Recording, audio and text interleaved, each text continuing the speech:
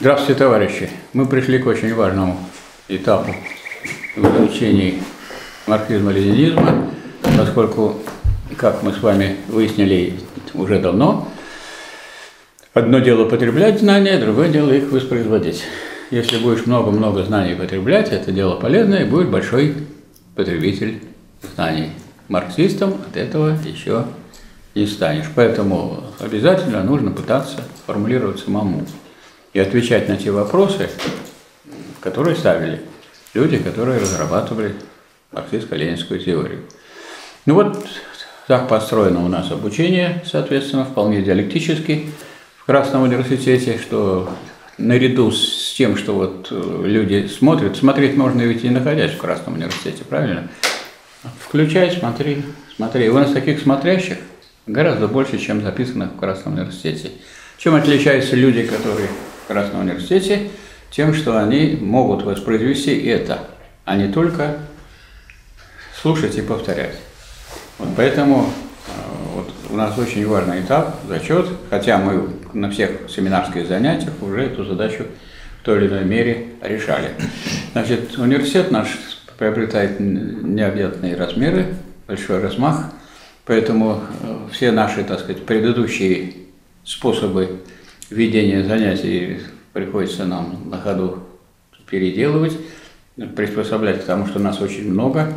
Поэтому сегодня мы сделаем так. Обычно мы анализировали произведения заочников, сейчас мы просто вынуждены констатировать, кто получил зачет, и перейти к тому, чтобы послушать здесь очников, и все заочники увидят, как товарищи будут тут сдавать, и как им повезло, что их никто не спрашивает.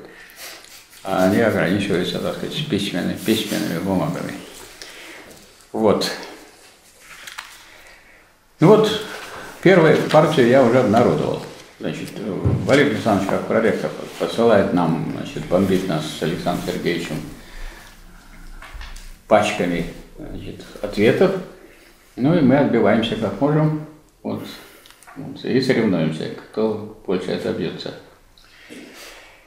Но еще не отбились, потому что только прибывают. Валерий Александрович сегодня нам сообщил, что то, что нам дали в руки, это малая толика того, что еще нам предстоит. Так что у присутствующих зачеты закончится, а у нас он будет продолжаться, у преподавателей. Ну, поскольку я уже сообщал, кто и как получил зачет, сразу хочу сказать, что, э, ну, надо сказать, что очень хорошие ответы.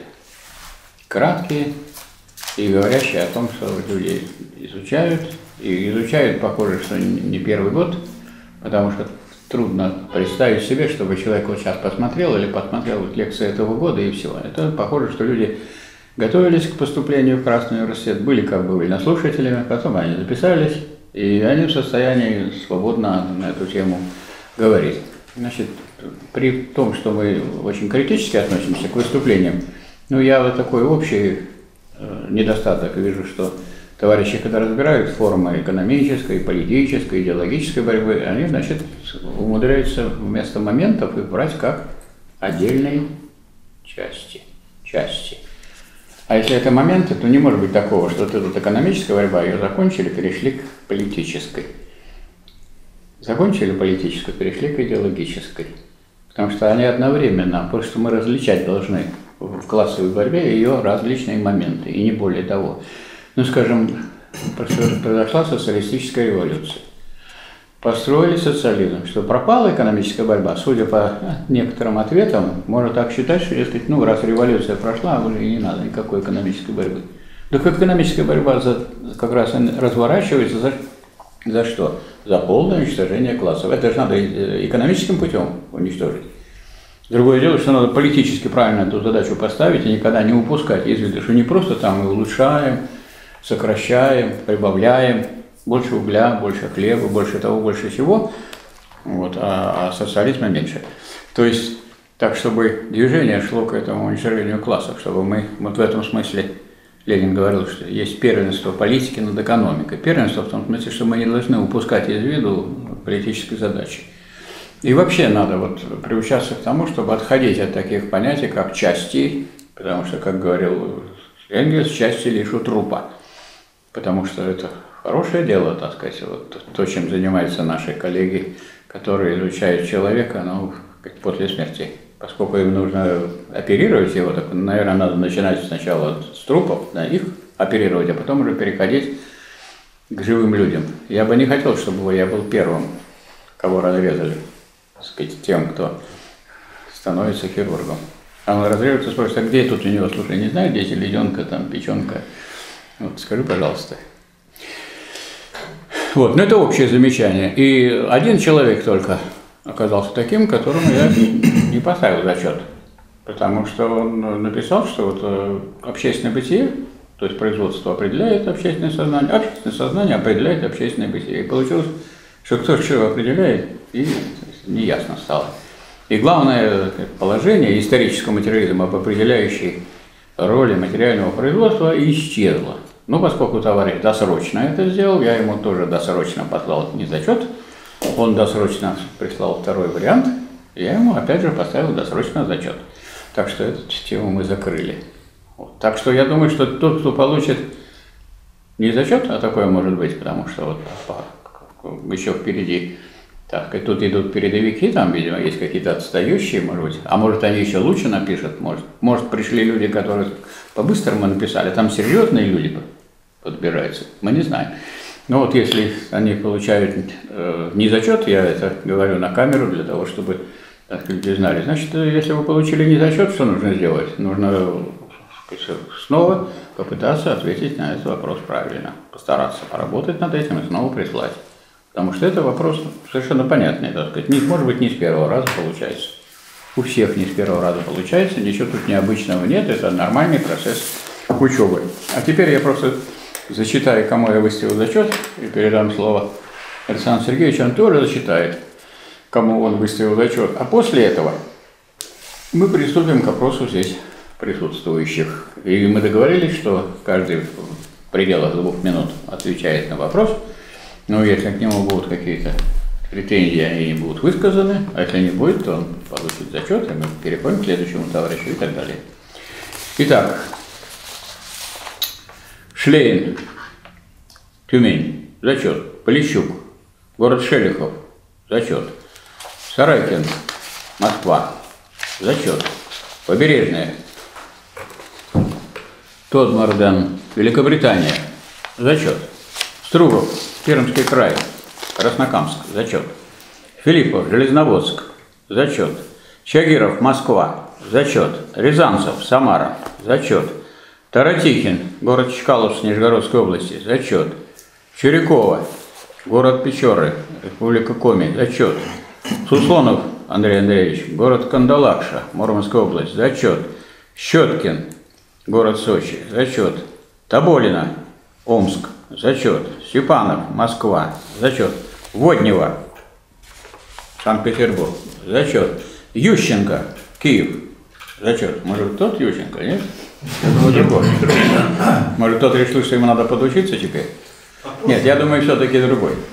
Селестунов, Нижегородская область, зачет. Старцева, Москва, зачет. Сыромятников, Казань, зачет. Ряховский, Ленинград, зачет. У нас же не запрещено говорить Ленинград. Ну, кто-то переименовал, но это его дело. А я, допустим, не переименовал, это мое дело.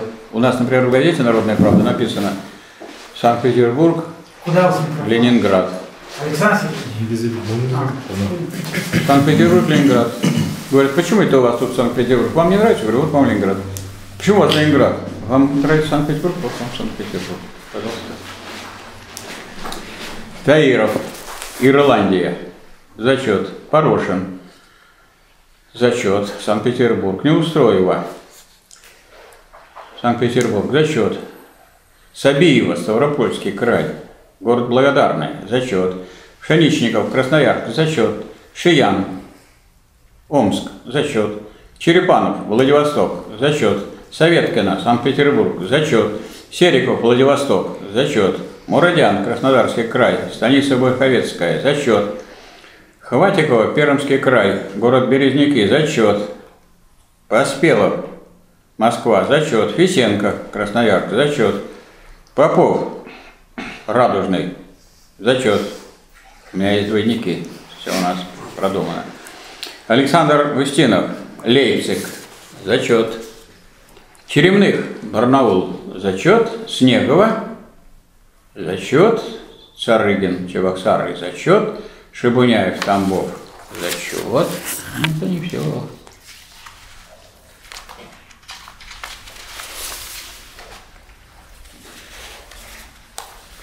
Крюкова, Москва, зачет. Мишин, Москва, зачет. Лушин, Москва, зачет. Артемьев, Санкт-Петербург, зачет. Желябин, Ленинград, зачет. Богданов, Мытищи, Московской области, зачет. Борисов, город Ефремов, Тульской области, зачет.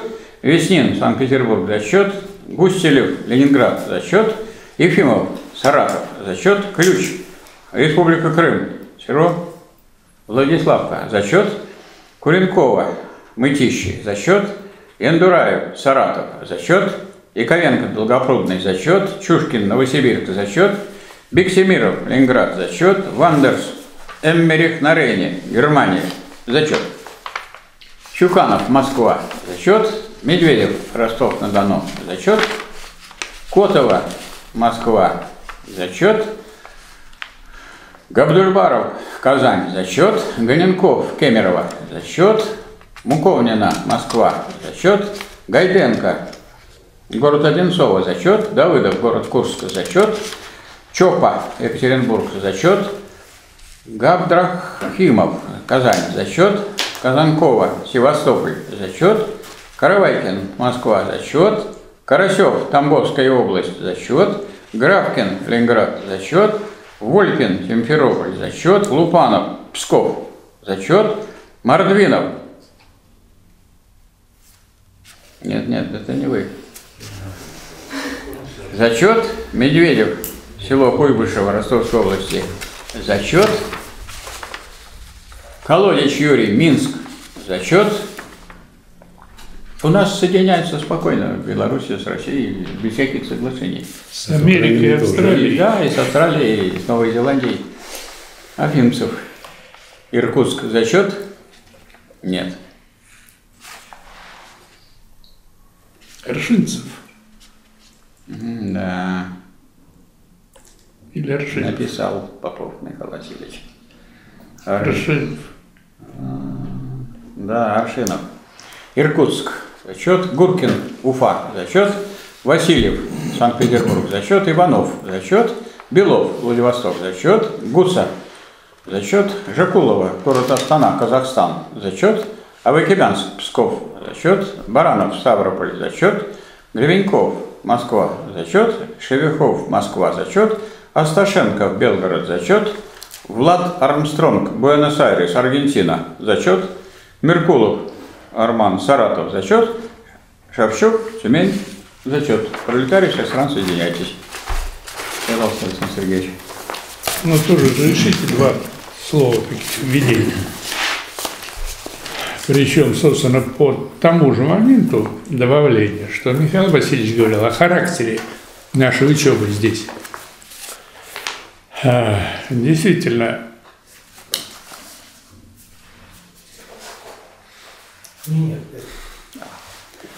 Знания недостаточно узнать, да?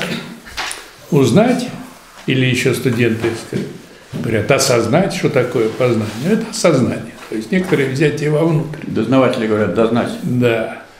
А мы говорим выразить. И более того, выразить в понятиях. Я думаю, что слышали вы не раз нашу формулу, не нашу, не а гегелевскую, формулу, которую мы часто вспоминаем. Понять значит выразить в понятии. Не внутрь взять его, да, а выразить.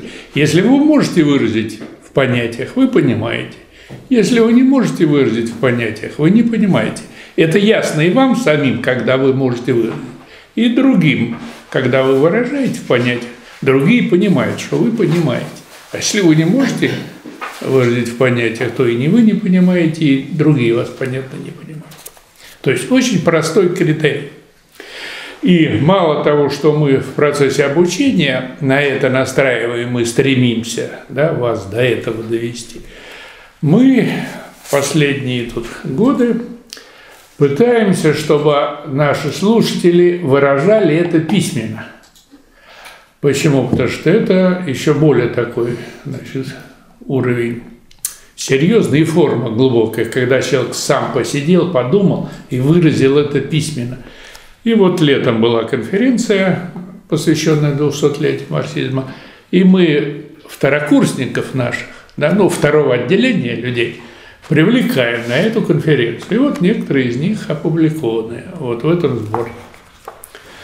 Значит, и дальше мы будем это продолжать. Поэтому вот ориентируйтесь, значит, так получить свое знание или сформулировать для себя – сформировать для себя свои знания, чтобы уметь самостоятельно мыслить и, может быть, как-то по-новому смотреть на какие-то проблемы или вообще новые проблемы ставить. Значит, что касается зачета, то я всем поставил зачет, двум человекам такая троечка, но я все-таки подумал, что можно и поставить зачет. Вот, хотя, конечно, они не очень удовлетворили меня. Ну и в основном это связано с лаконизмом. Уж слишком некоторые лаконично. Скажем, определение, это вот аристотелевское определение, гегелевское определение, там определение, дали две строчки, и вроде работа выполнена. Или от двух строчек голова заболела. Вы хотите еще? Да, да. Значит, э, но этого, конечно, мало. Нужно пояснить или сделать там ближайшее движение или переход к другим понятиям, или что, пример там какой-то, да. В общем, как-то эту мысль, ну, выразить, соотнести с чем-то, а не из лекции там переписал по памяти, вот запомнилась эта формула, переписал и, наверное, Значит, да, мне тоже понравились ответы. Мне кажется, с каждым годом, ну, видимо, мы поясняем, э, что мы ждем, чего мы хотим, и это к нам так возвращается. То есть кратко, по существу, четко, с пониманием, на понятиях основанное. Поэтому одно удовольствие. Сразу раз и видно, что человек знает, можно ставить зачет. Что касается конкретных товарищей, значит, Бунин, город Маршанск. Зачет зачтено Бахаев, Новодоронина.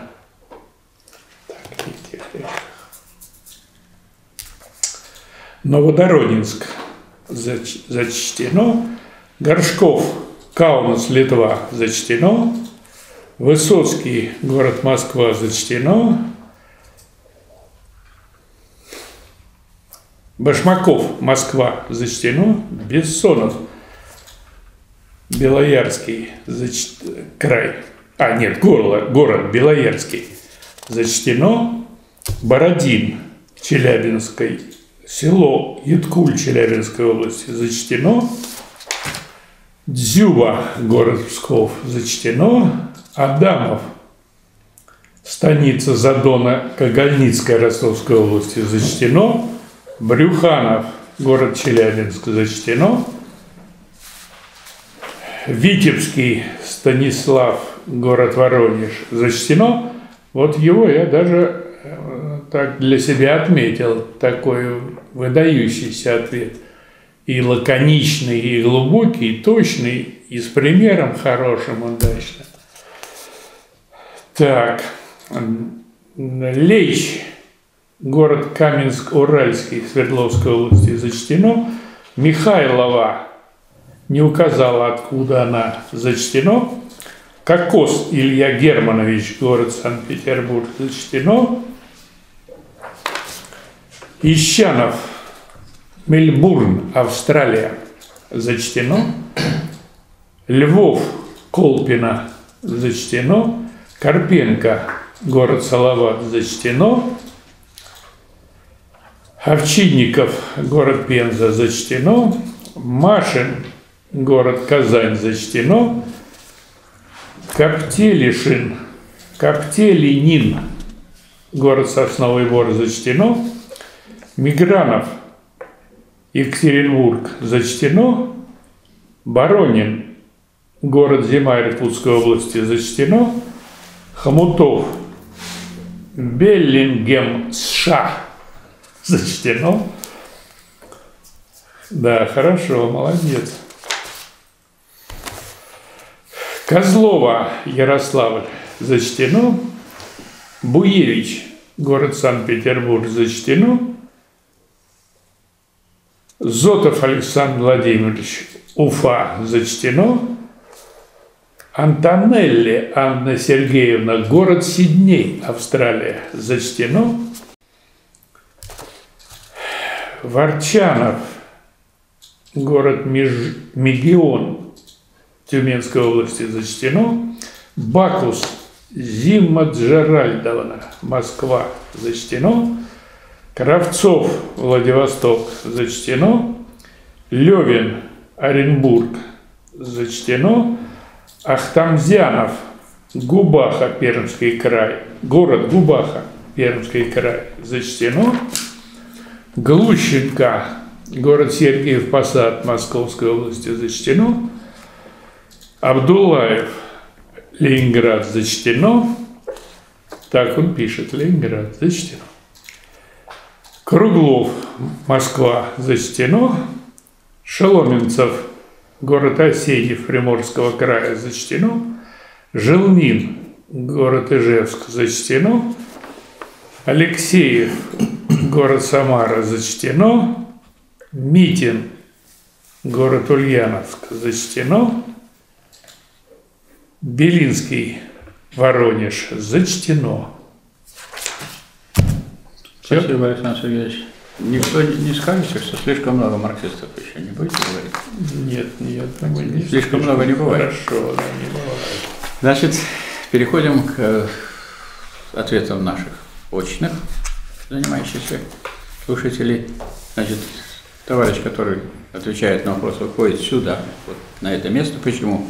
Потому что здесь будет его слышно. Его записывать, но надо, чтобы звук был хорошим. Поэтому вот он выходит сюда, четко и ясно называет свою фамилию, имя, отчество, и вопросы отвечает две минуты. После этого мы с Александром Сергеевичем задаем вопросы или не задаем вопросы и сказать, советуемся публично и решается вопрос зачет, не зачет. Все понятно, да? Пожалуйста, кто хочет? Давайте с вас начнем. Вы Давайте. рядом, да? Давайте. Еще, еще ближе. А, давайте, давайте. А? Давайте свой микрофон, может. Давайте сюда, давайте. Вас будет А вот я вам буду давать, да. Староста. И другим буду давать. Всем добрый вечер. Э, Рудник Прохор Вячеславович, город Санкт-Петербург. Вопрос номер четыре. Диалектический метод. Во-первых, традиционно скажу, что такой метод есть. Диалектический метод – метод последовательного выведения одних категорий из других. Данное выведение происходит путем высказывания в отношении каждого предмета как А и не А одновременно, как единство и борьбы противоположностей. Своими словами, да все, что нас окружает, все, что существует, как факт и как некое отрицание. Умный человек, не глупый человек, богатый, не бедный. Диалектический метод применим абсолютно любому предмету обсуждений. К примеру, процесс обучения, развитие студента, интеллектуально как личности. Студент уже осознает себя как некую личность.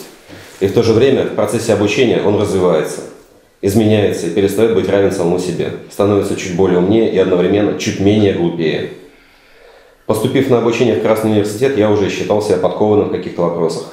Однако в процессе обучения я вижу, как был, зачастую все еще остаюсь наивен. Я изменился, в то же время остался собой. Сегодняшний я – это не тот я, каким был в сентябре, и каким стану в мае. И в то же время я по-прежнему остаюсь собой. Подобное рассуждение является наглядным применением, на мой взгляд, диалектического метода.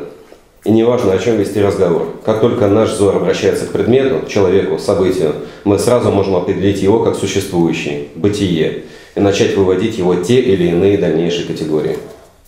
На практике данный метод применяется для осуществления перехода от абстрактного мышления к конкретным выводам. Самое часто, где мне доводилось его применять и наблюдать, Это борьба не против чего-то, а за что-то. Созидание чего-то нового вместо неясного сопротивления существующего. Спасибо. У меня сразу появился такой вопрос. Не происходит ли деградация в процессе изменения? Было одно, стало другое. Были, был равен самому себе, а теперь не равен. Куда пошло движение? Какого-то, какую-то очень важную категорию не использовали. А почему обязательно деградация? Может, все-таки развитие? Не обязательно, но просто не ясно у вас. Просто вы не указали ни деградацию, ни развитие, а лишь бы только оно изменилось. А все, разве в этом задача? А вот перестройка Горбачевская не состояла в том, что давайте все изменять. Не важно, вы им не говорите, как изменять. Все изменять, изменять. И он и равен вам себе, он и не равен вам, все изменяется. А у него есть, цель не надо, ли, не надо ли указать Глобальную цель он не обозначил, насколько да я бог понимаю. с ним, с Горбачевым, у вас не обозначено. Вы, у вас задача развития стоит, или вы ее как-то опустили. Что такое развитие в диалекте? Что такое развитие? Да, движение от простого к сложному. Да, движение от простого к сложному или движение простого к сложному. То есть вот идет, имеет место развитие. Конечно, развитие всегда в чем-то неполно, в чем-то несовершенно, но оно может продолжаться бесконечно, правда? Согласен. Да, спасибо. Как вы считаете, можно поставить зачет? Зачет поставить вполне можно, но мне кажется, он и категорию существующее, существование не, не очень различает от категории бытия. И там, где речь идет о бытии, он говорит о существовании. Тогда как существование – это все-таки категория сущности более развитая. Да? Да. То есть, видите, вот преподавателям никогда не угодишь, это звери. Я старался. Ну и определение э, э, метода-то, да, конечно, мы хотим довести до вас, чтобы вы пользовались определением классическим, гегелевским. Николай Васильевич наверняка вам его растолковал. Да. Ну, тогда сформулируйте метод. А я нет, я сейчас не скажу. Мне... Ну ладно. Но, но это сложная вещь. Ну, да, зачет можно Это, поставить? это к экзамену он подготовит. Да, зачет Конечно, можно. Я думаю, следующие можно товарищи поставить. восполнят. Они расскажут, в чем, что такое метод.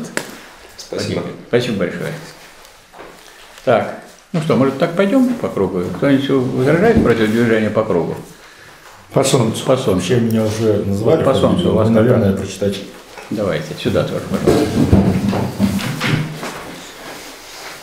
Но лучше не читать, конечно, а рассказать. Читать вы хотите? Ну, нет, не читать, Нет, ну что, я- нет, это Брежнев.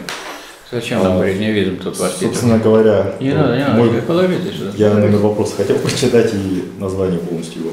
А Вопрос что, у вас 26. такая память, что вы вопрос не можете запомнить? Чтобы точно в соответствии с текстом было. Борьба экономическая, политическая, идеологическая, ядром которой является теоретическое единство и особенности. Вопрос номер 26. Собственно говоря, как уже говорилось в начале лекции, э, эти три формы борьбы являются Так, а минуточку, а фамилию не назовете свою? Артемьев. А? Артемьев.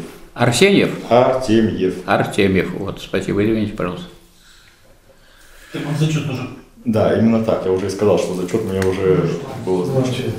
Но поскольку я здесь присутствую, вопрос уже задали, поэтому Да, озвучу. он сам сомневается в том зачете. Давайте, человек хочет утвердиться.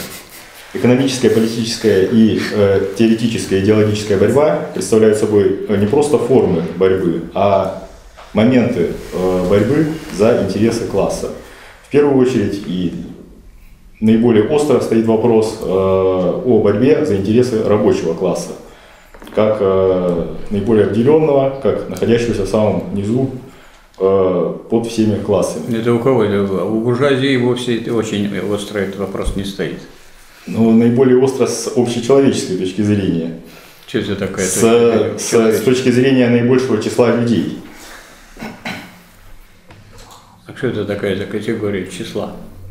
Это странная категория. Это классовая позиция большинства людей. Большинство людей вот годится для того, чтобы выбор проводить. Президентов, депутаты. Как-то это новый такой. Но, но вводите. рабочий класс является наиболее прогрессивным, Это да. поскольку он не может реализовать свои интересы без интересов всех остальных людей. Почему вот он не может? Он может реализовать свои интересы, и реализовывая свои интересы, он реализовывает интересы Реализовывает других. интересы а вы это людей. сформулировали так, что он ничего не может. Он может реализовать свои интересы только с интересами других людей, но не может реализовать свои интересы без интересов других. Да опять у вас он не может. А я сказать, предлагаю вам взять форму, что он может реализовать свои интересы и тем самым улучшить положение всех других трудящихся. Вам не нравится такая? Нравится. А чего вы надо? Но одна другой формулировке не А у вас противоречит. такая негативная. Вы не можете никак сдать зачет. А вот Александр Сергеевич говорит, нет, он может сдать зачет. И очень даже хорошо. Чем вам какая точка зрения нравится? Вот его или моя? Он не может сдать зачет Без того, чтобы ответить без того, на чтобы вопрос. сдали, без того, чтобы ответить на вопрос. А можно сказать, он может задать вопросы, на все ваши дурацкие вопросы ответит. Что такого? То есть человек какой-то наступательный должен позицию занимать. Вы против наступательной позиции? Марксизм предполагает, если это передовой класс, он должен быть в атаке, в борьбе или мы ничего не можем. Товарищи, давайте это все закроем и разойдемся. Ну что это такое? Нет, здесь в данном случае следует формулировать наоборот позитивно. А, ну, Мы можем реализовать свои интересы, но только в том случае, если будем реализовывать интересы других в том числе. Почему только в том случае? Если мы будем реализовывать свои интересы, мы тем самым Реализуем интересы. Реализуют другие. Они просто только в том случае, прямо случай нам один нашли.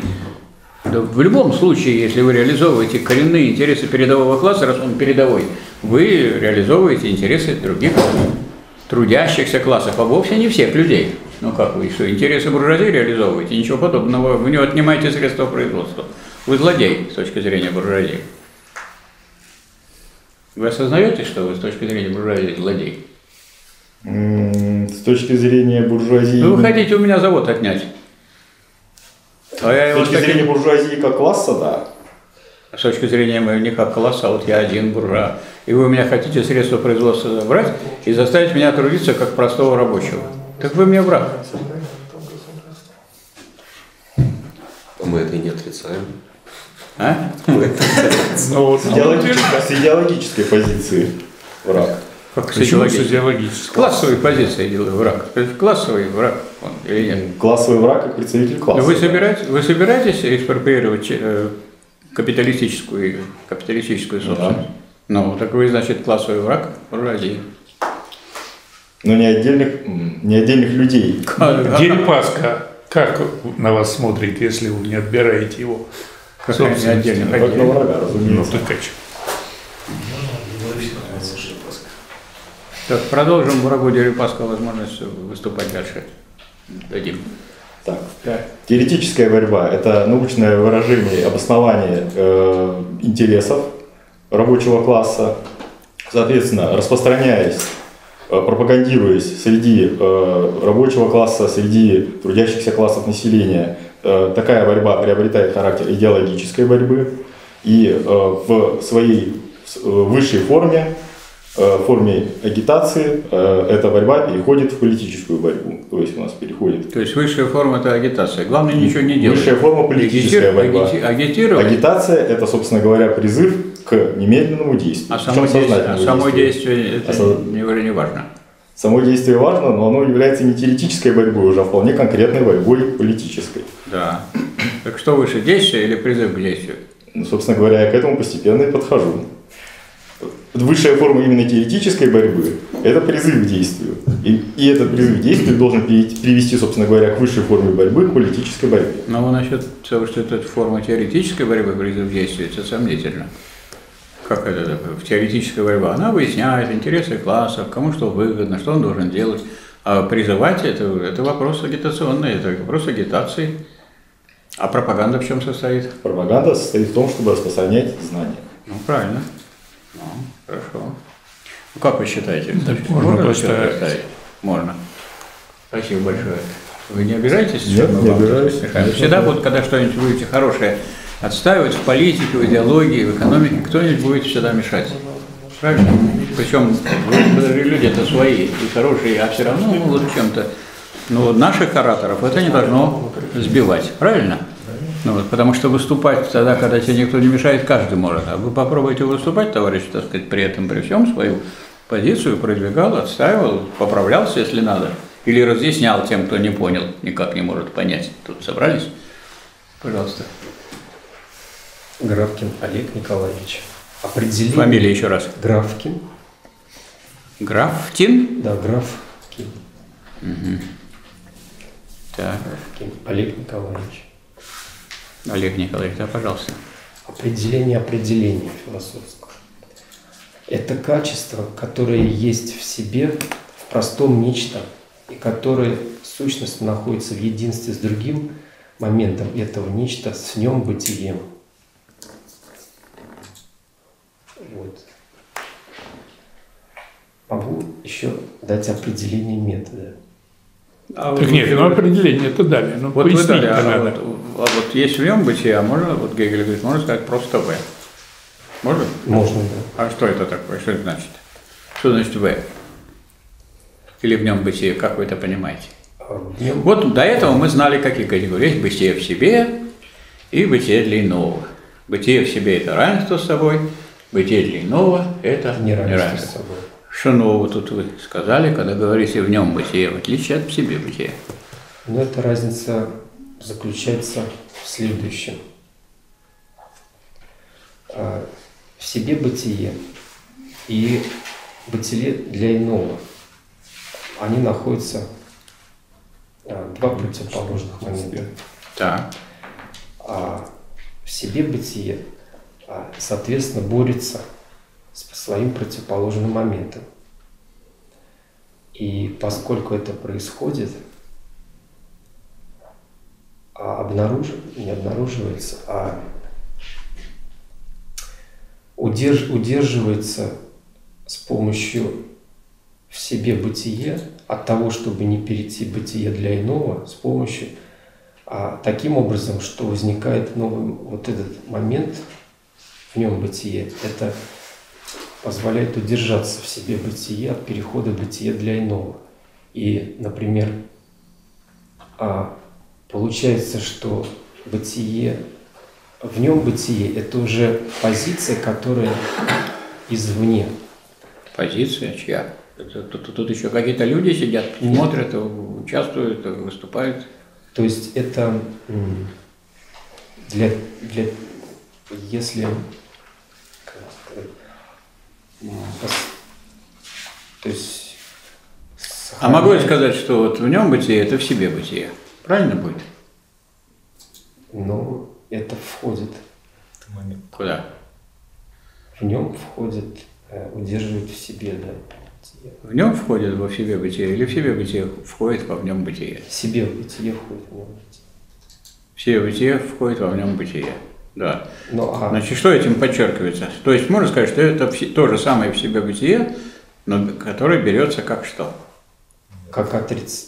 как отрицание Не просто берется, а которое фактически есть отрицание. бытие для иного. Да, очень хорошо. Все правильно. То есть, э, потому что в себе бытие не разделено, не отделено от бытия для иного, а оно переходит в это бытие, но не просто переходит, оно при этом от него отмежевывается, так сказать, оно его отрицает, поэтому оно в нем бытие, удерживает. Удерживает. И вот это удерживание того, что является определенностью, это же качество удерживается. Качество, которое есть в себе. Вот такое качество, которое удерживается в изменениях, это определение. Такое качество, которое не удерживается, не определение. Если хороший человек, то он хороший и вчера был. А если, а если он сегодня хороший а на их зачете, а вчера и позавчера и завтра плохой, то это не, не- это не определение этого человека. Да, значит, нельзя. Вот это вот как раз такого рода соображение было бы интересно сюда получить, когда вы берете категорию, как вы ее понимаете, вот эта категория определения. Это определение – это не любое качество, а такое качество, которое сохраняется в изменениях. Вот коммунист – это такой человек, который, когда все хорошо, он коммунист. Когда социализм, когда есть товарищ Сталин, когда партия, когда все распределение по труду, все хорошо. Как только ветры подули противоположные, он перебежал на другую сторону. Значит, он по определению коммунист или просто по форме. По форме. Вот э, Владимир Владимирович говорит, я билет ведь э, сохраняю.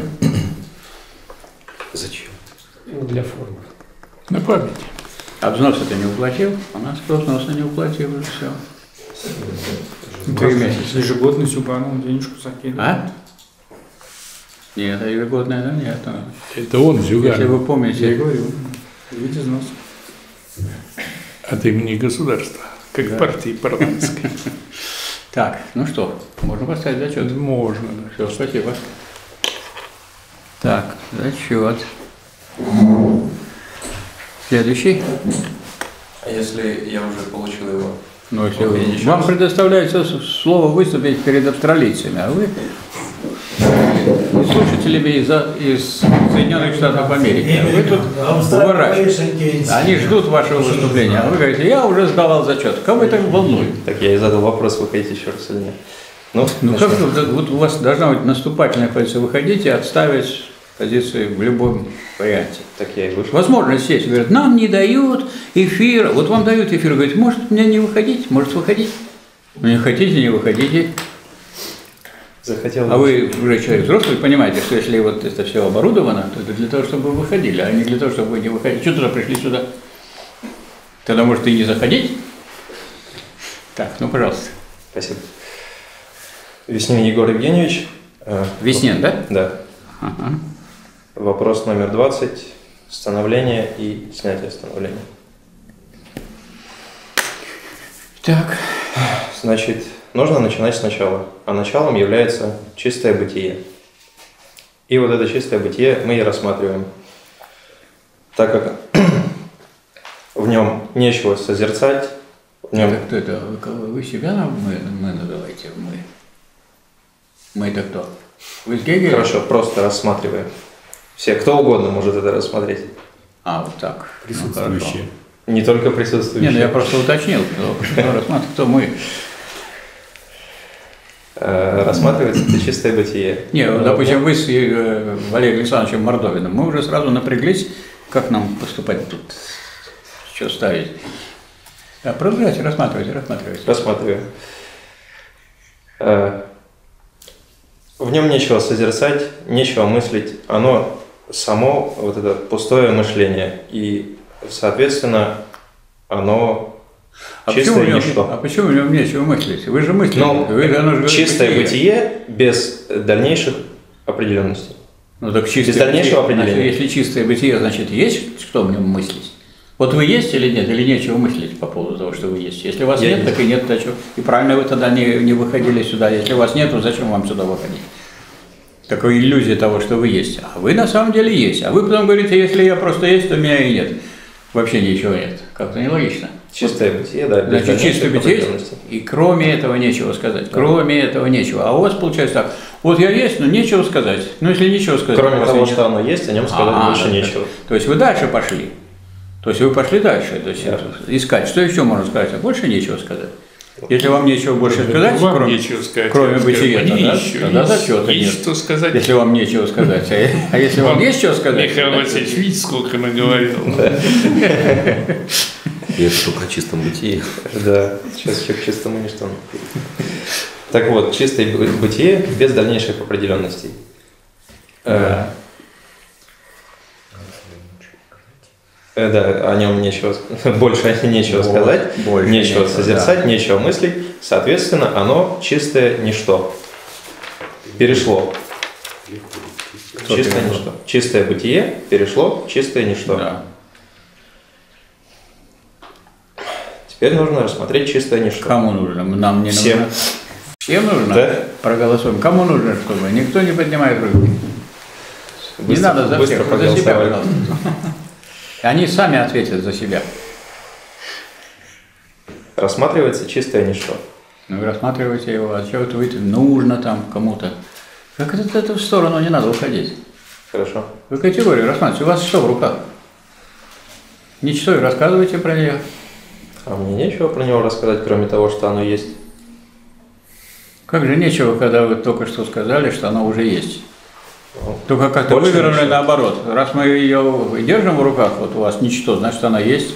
А что вы такую простую мысль так вывернули, что нам нечего сказать про нее, кроме того, что она есть. А и не надо нам, нам хватает того, что она есть. Нич- Ничто, значит, есть бытие. Да. Ничто перешло в бытие. А что вы перешло такую простую мысль вывернули так вот, даже нехорошо, мне даже нехорошо стало. Сейчас думаю, умру. Так есть. Есть это очень важно. Одно дело зарплата есть, а другое дело зарплаты нету. Да что зарплата, зачет одно дело есть, другое нет. Зачет был, и его уже нет. Нет, был уже почти. Должен был быть. Так. Ну и вывод какой? Соответственно, чистое ничто перешло в бытие. В каком месте? Да. Вот. А.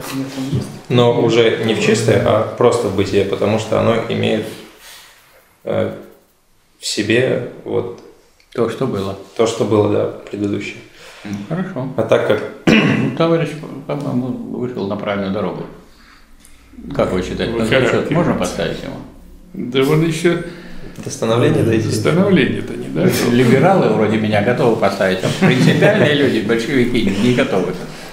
Да, продолжайте. Так как чистое ничто, ой, чистое бытие э, перешло в чистое ничто, соответственно, и бытие, в которое перешло чистое ничто, тоже переходит в ничто. И мы получаем э, переход бытия в ничто и ничто в бытие. А вам вот это вот, какое у Гегеля выражение, движение исчезновения. Движение исчезновения, Красивее же звучит. А Согласен. переход это вот кто-то ходит, ходит туда, переходит сюда, переходит, никак место найти не может себе. Ночью бывает, не спится туда, ходит сюда, на кухню пойдет, с холодильник откроет, обратно придет. Каждый из них исчезает в другом. Да. Движение исчезновения бытия в ничто Тогда это вот тянет на то, чтобы это сформулировать, что это что-то новое. Движение исчезновения бытия. Значит, называется ничто, а ничто в бытии. Вот его называть, да. Ну, теперь можно поставить зачет? становлением. Ну, теперь... Вот ждал Александр Сергеевич, когда вы дойдете до этой точки. Согласен поставить вам зачет. Спасибо. А я и раньше был согласен.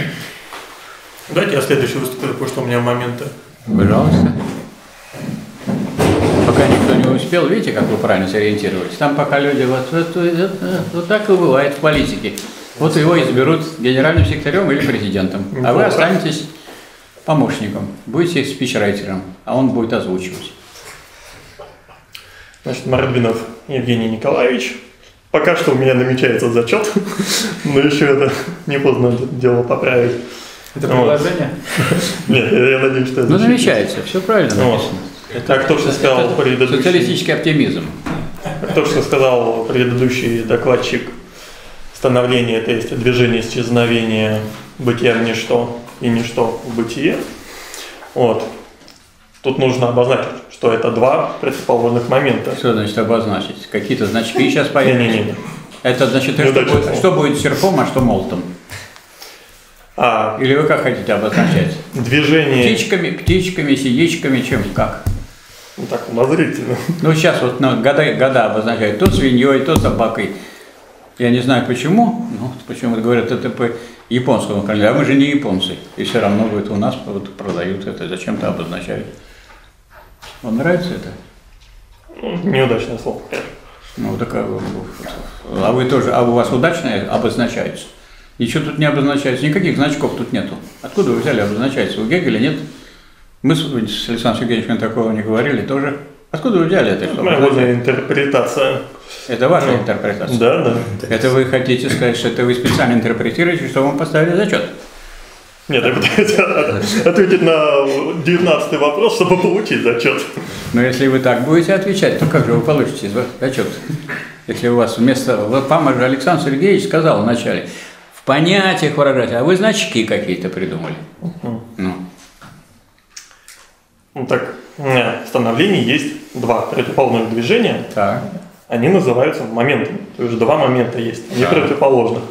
Вот, То Так. есть прихождение – это движение Называются, да. бытия, Выражается ничто. словами, да. Вот. И возникновение Ну, – это движение ничто к бытию.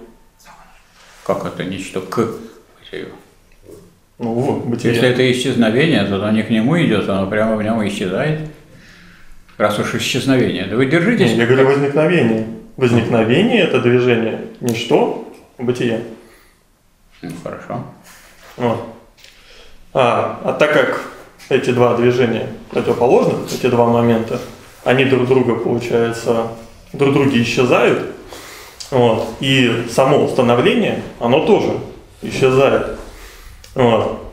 И происходит снятие, логический переход. Как это? Где это? Где? Не, не видим логического перехода. Это вы просто вам на слово мы не верим.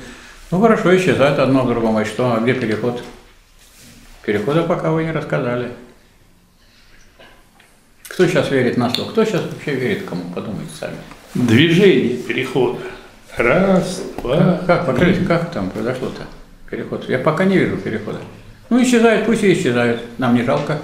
Исчезает ничто, бытие, бытие, ничто. Ну, как вот кипит у вас на, на котелок, в нем вода кипит себе и кипит, кипит и кипит. С одной стороны кипит, а с другой стороны еще не пока не Движение мысли. Мысль движется от одного понятия к другому или в другое. Как вот вы пришли, как вы можете от этого теперь прийти, как, какое движение приводит вас к снятию? Где? Пока мы не видим. Но они друг друга исчезают. это Ну пол- что? Пусть исчезает. Получается, это беспокойное единство, быты бытия и ничто. Это было уже, да. Вот. При этом происходит снятие. Да, становление исчезает. Нет, становление исчезает. Это вот вы показали. А где снятие? Как снятие происходит? Ну, в момент исчезновения одного в другом.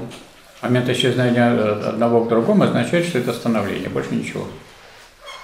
Вы это вот на одно и то же так повторяете многократно. Это в этом и состоит становление. Вы застряли на становлении. Давайте так попробую.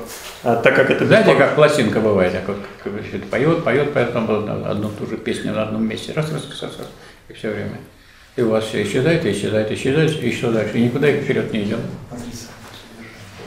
ну, так как это беспокойное единство, Так, соответственно, это понятие сложное. Потому что единство может быть только множество. ну, Вот. Значит, это беспокойное множество. ну. При его исчезновении вот, Множество или множественное? Прямо множество. уж множество здесь. Ох, тут круто вы завернули по-математически. Их всего-то сколько? Много или два? Ну, два это уже больше одного, значит, это уже сложно, значит, уже множество. Ну, понятно. То есть, если вот увидел два, уже это много. Понятно. И при его снятии Где должно... снятие? Снятие это в чем состоит? Не, не видно снятие. Вот мы э, слышали в вашем изложении, что становление, становление исчезает. вот это беспокойное единство себя отрицает. Это вы говорили, да? Да. Ну, раз отрицает себя, так в чем состоит отрицание становления? Так покажите. А вот вы это не разворачиваете в понятиях. А вы стали заверять, заверять, что оно исчезает, заверять, что оно снимается. Сейчас кто верит на слово? Кто сейчас верит на слово? Никто не верит. Столько жуликов кругом ходит. Это извините, Михаил Васильевич. А момент что такое? Момент. Да. Движение. Внутреннее.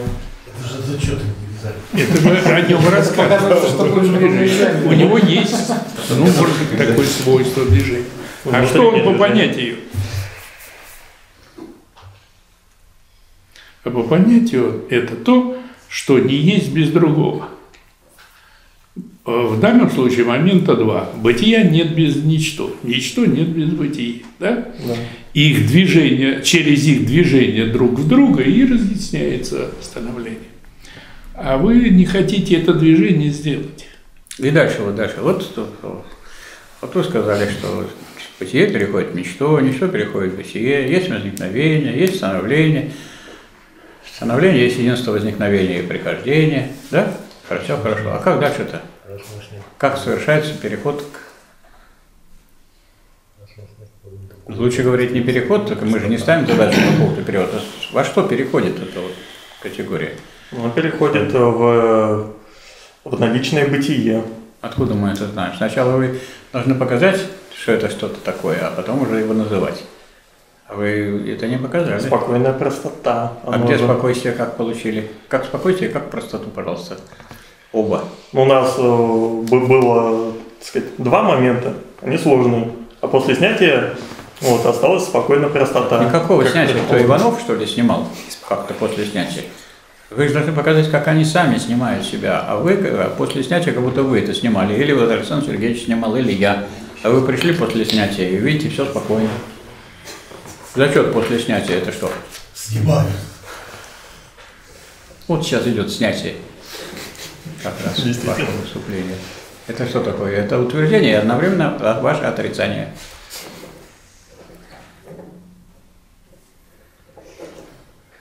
Потом вы скажете, это не я, это картинка. Ну вы почти вот тут вот где-то находитесь. Вот вы сказали, что э, становление отрицает себя, да? Да.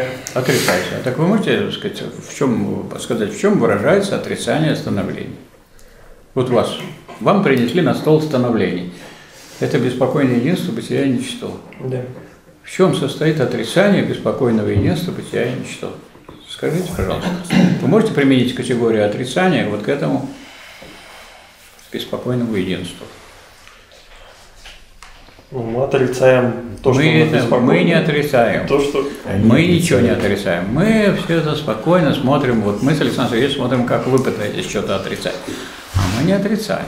А вы, если вы говорите мы, вообще вы мы не можете говорить, потому что вы один, как мы.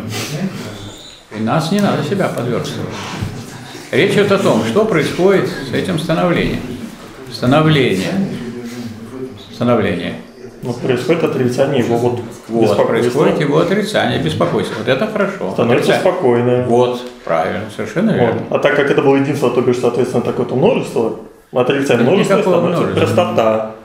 не множество, а поскольку их было два Момента. момента, а теперь ни одного, просто отрицание произошло. Их разность Отрицание двух. исчезает. ра- Да, их разность исчезает, теперь один, а вы там множество, и уже тогда вы ушли куда-то далеко. Не надо от этого предмета простого уходить куда-то в очень сложный. Вот теперь получается спокойное получилось и простое, а спокойное и простое – это что? Это наличное бытие. Нет. Спокойное и простое – это то новое, что есть. Сначала вот оно есть, сначала есть бытие, но какое бытие? Нечистое же. Нет.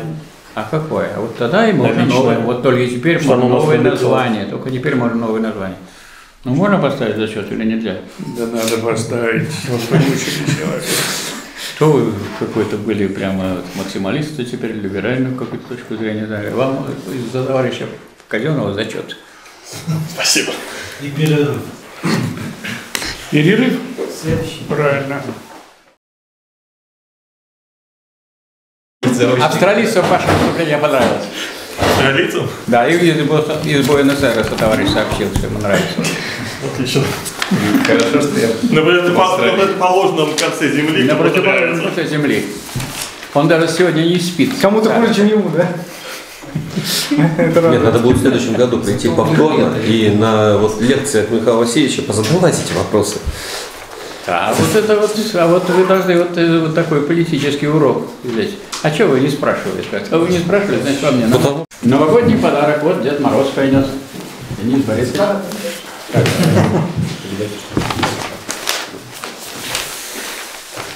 Московский рабочий из Москвы. Это очень просто. Значит, издает это газета «За рабочее дело». Она в Ленинграде. А это выпуск для московских товарищей, для московских рабочих. Выпуск «За рабочего дела» Ленинград. Для московских рабочих. Московские рабочие. Так. Называете себя Абдулаев Абдулаев. Камиль Шамилович. Имя что? Э, Камиль Шамильевич. Камиль Шамилевич. Ага. Значит, вопрос э, понятия политическая партия. Пора на этот вопрос ответить. Э, Значит, э, Просто другие боятся к серьезным политическим вопросам подходить. Они это на уровне ничто пытаются это решать. значит, э, политическая партия, значит, понятие политической партии, оно как всеобъем- всеобъемлющее и включает себя, Всеобъемлющее ну, понятие. включает в себя очень много, И компот, и компот туда входит. очень, очень много включает в себя ну, понятий, Нет, подождите, вот есть такая очень строгая категория всеобщее, есть особенно единичное, а всеобъемлющее это совсем другое. Всеобъемлющее. Вот если это всеобщая категория, это другое дело. Вот, вообще понятие. Вы лучше расскажите, не какая это категория, а что это такое? Э, Партия, политическая партия, это что? э, Сообщество э, людей, э, объединенных э, какой-то общей целью. То есть идем пить пиво. Э, Партия общее, общее, да, общее понятие партии – это сообщество людей, даже это понятие по- политической партии или понятие партии? Нет, слова понятие, «па», пар- понятие, понятие партии. А зачем нам понятие партии? Ну, потому партия что в шахматы. я хочу, э, Хорошая партия. У вас есть жена? Есть. Это отличная партия. Вот. Но, соответственно, понятие партии, э, Нам не нужно понятие партии, мы не спрашиваем. У нас Ну, понятие политической партии. политическую Все партию- остальные вы можете рассказать, кому хотите. политическую... А нам только вот про это, про политическую партию. э, Мы у нас очень узкий Значит, взгляд и очень неширокий я- я- я простор. Значит, э, политическая партия – это, значит, авангард класса, авангард класса, авангард общественного класса, это э, который, соответственно, борется за, эм, э, сейчас, за власть этого класса. А что, может быть, авангард, который не борется? Нет. Что это за авангард? Вам слова авангард недостаточно, что ли? Что еще надо прибавлять, что он борется? Э, Нет, он Вот должен, говорят, он- он должен вот однозначно есть, допустим, бороться. есть солнце, еще некоторые говорят ясное солнце, потому что некоторым не ясно, что это ясное. Богатырь обязательно сильный. Значит, Экономика должна быть класса, который экономной. борется за, за э, власть. А зачем вам, э, если это... Есть такие классы, которые не борются за власть, что ли?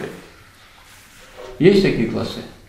Э, Нет, ну, Ну, нет, вообще, нет, вообще есть такие разговор? классы, но они не уходят на Вы хотите длинное, власти. вы хотите протащить длинное определение партии сюда, потому что вам легче запомнить или наоборот короткое? Нет, ну лучше коротко тогда. Значит, авангард э, класса. Это вам не нравится, что ли? Хорошее определение? Отлично. Ну а что тогда вы хотели тут как-то так, как-то всех раздвинуть и что-то такое вот привнести? Просто хотел объяснить Авангард более класса. авангард класса. Да. А вот дальше, исходя из этого определения, все и объясняется. Если это авангард класса, авангард это что такое? Это передовая часть. э, Нет, не со- часть. пер- Передовая, наиболее сознательная. Чего? э, как, То есть э, не часть. Не часть, Если не часть, получается, что вот скажем, авангард рабочего отдельно- только из отдельно- рабочих состоит. Нет. это неверно. нет, нет, да. А потому что, для, а потому что партия это соединение социализма с рабочим движением, да? Здесь уж точно будут, кроме рабочих, еще и нерабочие. Правильно? Если это авангард, если он э, эту задачу решает. Поэтому часть здесь не подойдет. Хотя э, формально там само слово пат, часть, это часть, конечно. Но это вот у нас авангард- берут, э, дают английское, на самом деле это идет от греческого парс род. Так у нас греческого не знают, а знают английский. Ну так они не знают, а мы-то знаем, мы люди грамотные. Да вы-то грамотные. И разъяснили это в книге специально. Вот. Вот, Вам значит, объяснили в книге, а вы все равно начали добавлять к этому все. Авангард класса. И, естественно, авангард борется за, за политическую власть кого? Свою или, вла- или класса? За политическую власть класса. О, это очень важно, правда? Конечно. А есть такие партии, которые за свою власть борются? Ну, конечно, есть. Тогда они не политические Они, партии. они- Вот поэтому их Ленин назвал это группа, как группа или категория буржуазии, которая возню политическую затевает на просто, политическом движение. Да, а на самом деле, или они, так сказать, представляют собой некоторое обрамление Ну, например, партии. при- пример нашего парламента, соответственно, там, находясь различные партии, там находятся, соответственно, они не борются за, Почему вы думаете, что они различные? А чем они различны? ну, хотя бы в названии. а, названием Да, различаются. да. И они, соответственно, не осуществляют борьбу за э, власть. Как Они- они осуществляют? Осуществляют. За удержание они осуществляли борьбу. А разве удержание не есть борьба за власть? Не удержишь, так и все. И пропало, Да конечно. их, да их никто оттуда и не, не, это, не снимает. э, Как никто не снимает. Вы уже вот тут со своим Красным университетом уже подошли. Как не только, снимают? только только подошли, да. но не очень близко. Но они заранее готовятся. А вы тоже заранее готовитесь. А еще политическая партия – это именно инструмент политической борьбы Чей? класса. Ну, то есть э, Вы что, вы чё Пол- полити- нового сказали? А вам слово авангард слабо показалось? Инструмент, вроде отвертки. Ну что такие слово инструмент, какое-то механическое такое понимание. Авангард это передовой отряд. Вам передовой отряд не нравится? Перевожу на русский язык. Авангард. Аван это передовой. Гад это охрана, да? Да. Передовой отряд. А вы хорошее такое слово передовой отряд заменили на какой-то инструмент. Скальпель или что? Отвертка? Лопата? Ну, Просто э, То есть копать надо в политике Вы- лопатой. высшая Такой лопатой форма. является партия. высшая форма классовой борьбы э, является борьба политическая. Соответственно, чтобы осуществлять политическую борьбу, нужно осуществлять какими-то средствами, инструментами. Почему инструментами-то? Ну, не инструментами, а с, э, как э, Ну, для того, чтобы осуществлять борьбу, надо иметь передовой отряд. Что, что тут это плохо, что ли? Это какие-то инструменты. Что-то вы отбрасываете борьбу классовую и берете как что-то, где-то ковыряется этот самый. Это как будто он подходит, э, что-то не открывается дверь, а начинает ковырять каким-то инструментом. Это что, борьба за власть такая странная. Зачем вы так изображаете эту классовую борьбу? Кто это вас учил так? Александр Сергеевич, вы так учили? Я не учил так, но, значит, он хочет, ну, пояснить это. Так он хочет затемнить.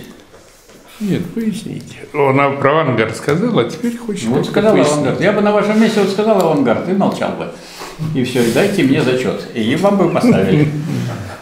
я хотел, я хотел А вот, понимаете, вот, развернуть. вот что-то развернешь не туда, тут иногда нужно просто вот промолчать. молчать, да. Сказал, партия авангард класса, кто против? Никто не против, ставьте зачет, все. Ну, то есть можно даже не говорить, но нам деваться-то куда? Ну, куда мы можем деться с Александром Скажешь, что не авангард. Но Авангард. это средство, конечно, можно сказать, что это Ну, средство. средство, Почему? это Потому что вот средство, есть, да. есть партия, Средство это- есть средства, Средства которым это, мы это, действуем. это высокая Нету. категория. Средства Есть. это средний термин, среднее. То есть что-то на- кроме класса нужно еще что-то такое, что, так Да, сказать, является ну, средством, да, так сказать, вот взятия его нужно власти, сделать. да? А Да. пока нету А инструмент, партии. он инструмент средства, но не Средство. всякое средство инструмент. Согласен. Значит, э, политическая партия является средством э, класса э, для достижения, э, ну, для взятия власти в свои руки. Для достижения Да. своих целей. Хорошо. Ну что, можно поставить зачет? Можно, конечно. А то вдруг еще что-нибудь скажет. Так стойко сопротивлялся, защищался. То есть, оказывается, надо что-то еще и не сказать. Так договорились же две минуты говорить. Да. Две То есть говорите, Не выдавайте. на вопросы. Просто Не надо, не надо выдавать. Если они есть. Так, фамилия. Здравствуйте, Шихин Евгений, Сан- Ленинград. Еще раз. Шихин Евгений. Шихин? Шихин, да. Ага. Хорошо, пожалуйста. Эм, Вопрос э, диалектика и формальная логика. Ну что, папы у вас нету? А? Папы нету? Николаевич, Вот, спасибо. папа есть. Нет, ну он в любом случае есть, поэтому как-то я интересовался. Ну, диалектика – это наука о противоречиях. Вот. Диалектический метод – это осознание формы внутреннего самодвижения, содержания изучаемого объекта. Надо ставить зачет сейчас. Сейчас еще что-нибудь скажет потом, уже нельзя будет ставить зачет. Может, хотел развить мысль. Ну, Пусть другие Да развивают. нет, вы не даете. Уже, не пере- передумал. Вот. Ну, современное пони- понимание ди- диалектики – это гегелевское понимание диалектики, высказанное им в науке логики системы категорий. А ленинское понимание диалектики не современное. Ну, ну, современное, значит. А вы сказали Гегель. Я же говорил, сейчас сейчас сидел. А у Ленина как у Гегеля. А Маркса понимание тоже не Гегель, не современное. Гегеля, ну, Тоже современное. тоже современное. Ну ладно, на этом давайте остановимся. Спасибо. Хорошо, зачет вам. Так, кто у нас еще там? Товарищ Тюленев, он не будет сдавать, а он слушатель, между прочим. Да, да. А что вы, товарищ Тюленев, подходите сюда. Вам есть что сказать. А он держит ручку, не может оторваться. А, Как люди придумываются, даже в руки берут там специально записывающие аппараты, чтобы это крутить начинать, что вы только не спросили. Так, ну, пожалуйста. Вот есть смелые люди. То есть как минное поле, так женщины выходят. Понятно. Михайлова Дарья Николаевна. О, четко, ясно. Понятие коммунистического движения. Какого Коммунистического. движения? Коммунистического. А? Коммунистического. Коммунистического. А, слова. а я думал, что это... Так. Эм, а, Коммунистическое движение, рабочее движение осознавшие свои коренные интересы и борющиеся за них. Это точно Казанов так преподавал.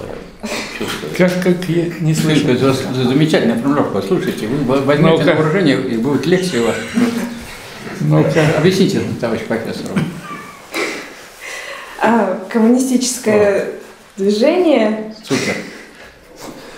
Так, так, так, так. – это рабочее движение, осознавшее свои коренные интересы О. и борющиеся за них.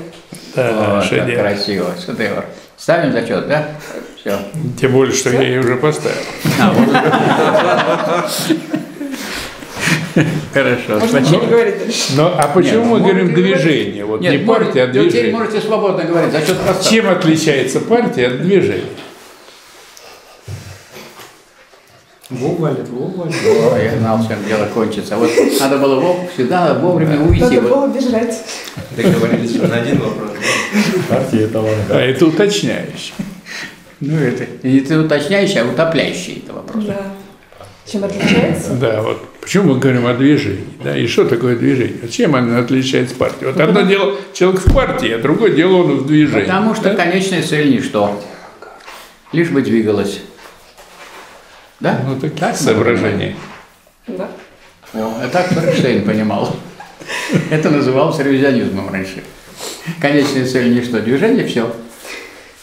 То, что в партии человек посвящает всего себя, свою всю деятельность, жизнь партии и борьбе за коммунизм. А в движении, вот идет движение, он пристал к нему, подвигался там 5 километров, Это если есть движение, а есть был да, значок такой. и отошел. 50 лет пребывания в КПСС. Маленький такой круг. А потом думает, нет, Пребывание. пойду дальше. Питье в КПСС. 50 лет. Понятно, было. да?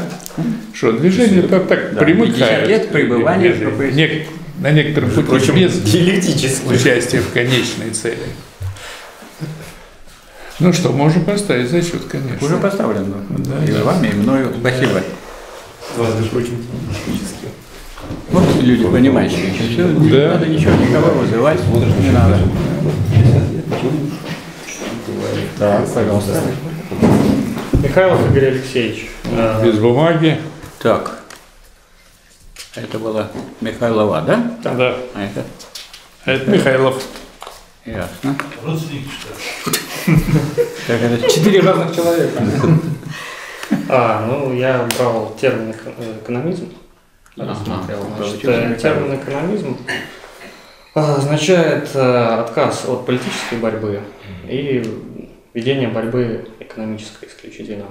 Э, Берется начало в конце XIX века социал-демократической партии, которая Как-то вот считалась- это непонятно. Слово «сведение» означает, что в конце концов всякая борьба сводится к борьбе за экономические интересы. Это разве неправильно? Ведение. Сведение. Свести. Или вывести из экономических интересов всякую борьбу. Это как бы все расцветает тогда. Из экономической борьбы выводится и политическая борьба, и теоретическая борьба, и идеологическая борьба, правильно?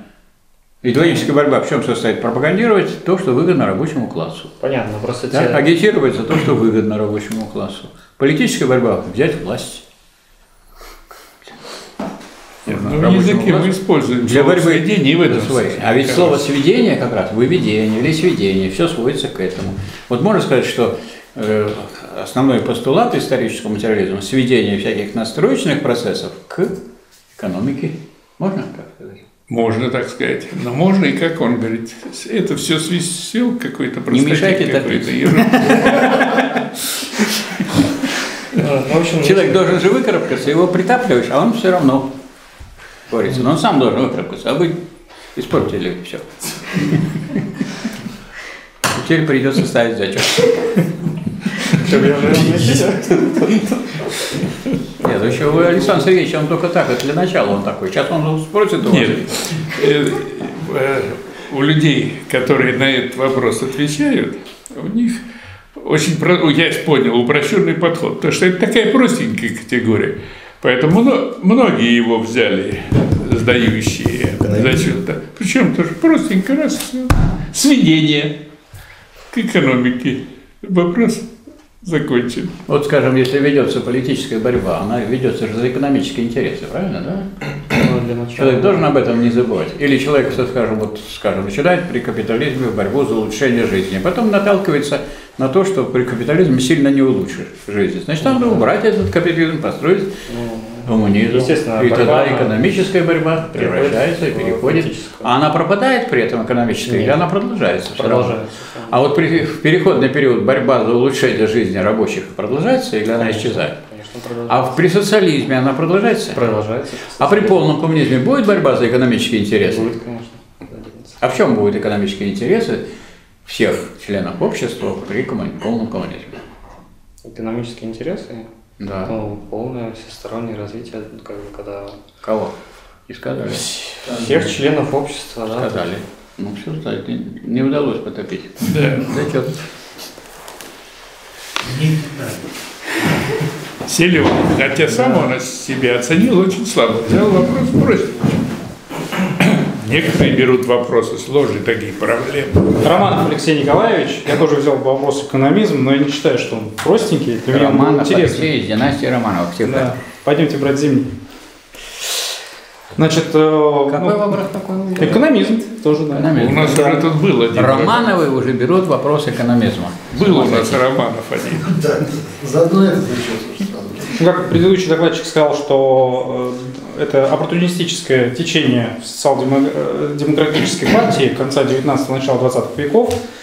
Значит, э, основной как бы, документ, э, который является, скажем так, описанием э, вот этого понятия, это является кредо Кусковой, Мадам. где, да, по-моему, Екатерина Александровна, которая описывала, что имелось в виду. Они, э, вот там с ней еще ряд товарищей, они трактовали учение Маркса и Энгельса о том, что рабочие заниматься должны только экономической борьбой, а либералы политической, именно их разъединяя, что э, не люди делают историю, а экономическое развитие делают истории, а люди в нем являются просто э, производственным, скажем так, субъектом, который как бы в, течение этого дела там живет.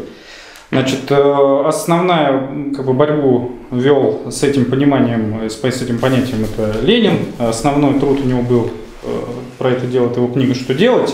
И отдельно он еще писал... И никто его не поддерживал, да? Ленин. Один он был, бы. Ну, он основной.